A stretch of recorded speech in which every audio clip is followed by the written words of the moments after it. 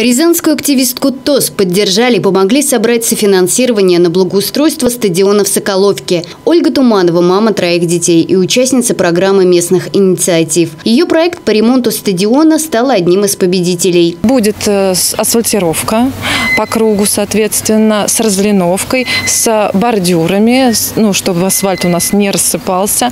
Будет гридирование всей площади. А, это, получается, со временем а, земля, а, она проседает.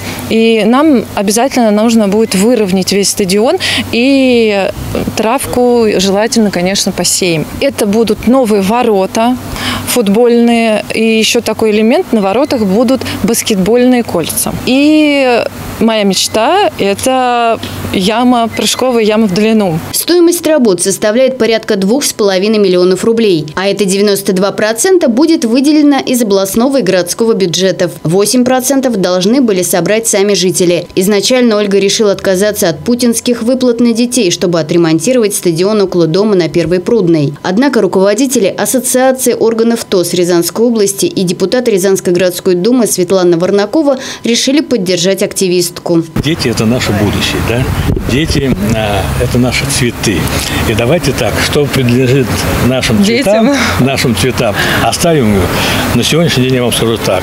Ассоциация ТОС решила в этом вопросе вам помочь. И мы вам закроем эту тему из финансирования Ассоциации ТОС. Не осталась в стороне депутат Рязанской городской думы Светлана Варнакова. Она также посчитала своим долгом подключиться и вместе с Ассоциацией ТОС закрыть остаток софинансирования. Я уже на протяжении 10 лет а, занимаюсь общественно-политической жизнью.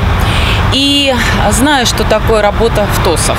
Сама а, была у истоков организации ТОС э, Шереметьево-Песочник.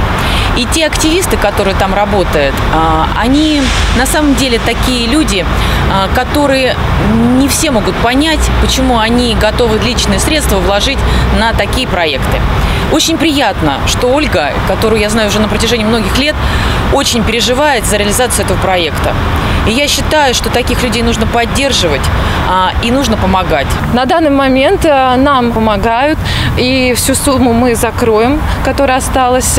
И очень хочу выразить свою благодарность а, депутату городской думы Светлане Варнаковой и ассоциации ТОС. Просто хочу сказать большое-большое спасибо за такую поддержку. Во время встречи активистов ТОС на Прудной с сотрудниками Управления общественных отношений администрации, руководителями ассоциации органов органов ТОС Рязанской области и представителями депутатского корпуса обсуждались результаты проекта 2019 года «Сквер Сокол». Хотелось просто благоустройства своей территории, места проживания, а, чтобы детишки наши, маленькие детишки, могли играть на благоустроенной детской площадке.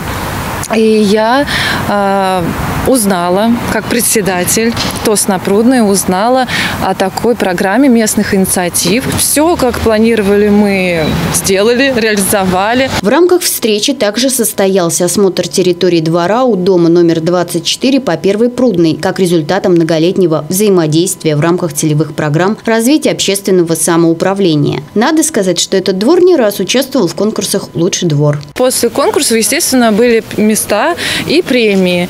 Э, город вот э, также выделял нам э, Э, премии. И на эти уже денежки мы и сцену построили. Э, уже у нас и праздники проводятся, и таланты нашего двора, и Масленица, Новый год, 8 марта. То есть, ну, все-все существующие праздники мы проводим в нашем дворе, на нашей сцене. Двор у дома 24 по Первой Прудной неоднократно признавался одним из лучших в городе. И это заслуга самих жителей. Олеся Котровская, Станислав Кудряшов, телекомпания «Город».